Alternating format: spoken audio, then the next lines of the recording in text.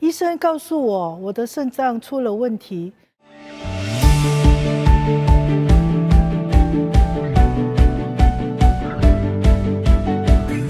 Hello，又是我。今年二零二零年六月复诊，医生告诉我我的肾脏出了问题，需要到政府医院的专科检查。七月中是我到政府专科部门看诊的预约时间，日期一天一天过去。心中惧怕和担忧，每天早晨四点都会起身祷告，亲近神，祈求神灵敏医治我，使我的肾脏操作正常，不需要洗肾。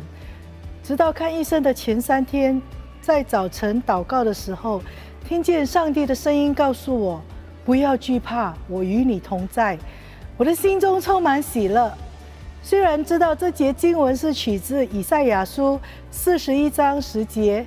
你不要害怕，因为我与你同在；不要惊慌，因为我是你的神。我必兼顾你，我必帮助你，我必用我公义的右手扶持你。但是从上帝口中说出来，就使我心中充满平安喜乐。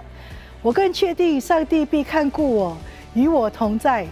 之前我已经到了医院抽血检验，到了看诊预约的日期，我的心中也不惧怕。感谢耶稣。医生说我不需要洗肾，只是要照顾饮食和注意血压，而且每两个月要到医院复诊。